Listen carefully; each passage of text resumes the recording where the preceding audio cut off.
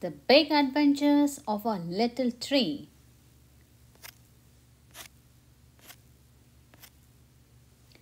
Down by the shore where the sea turtles are, there lives a small tree, the greenest by far.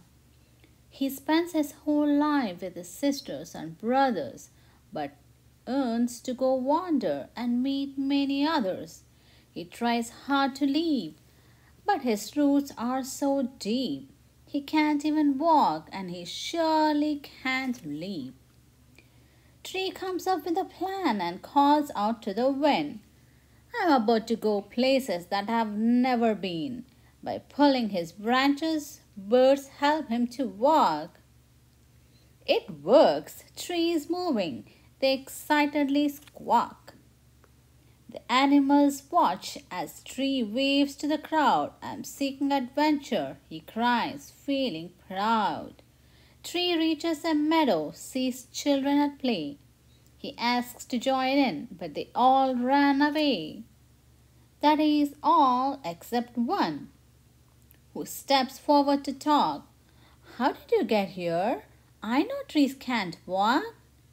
Tree tells her that birds simply tugged and then lifted till his roots and his branches all finally shifted. The girl is surprised, yelling, Guys, come and see. It's hard to believe my new friend is a tree. The children all giggle, the birds flutter by. He's made a lot of friends in a blink of an eye. Now Tree and the children love playing all day running free in the meadow till Tree heard one child say, Oh, winter is coming, we must say goodbye.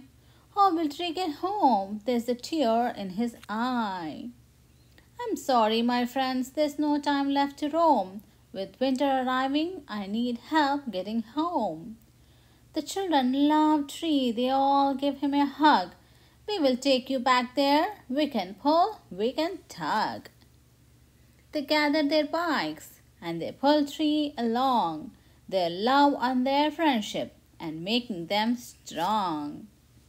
Tree's brothers and sisters are happy to see all the children and learn how they took care of Tree.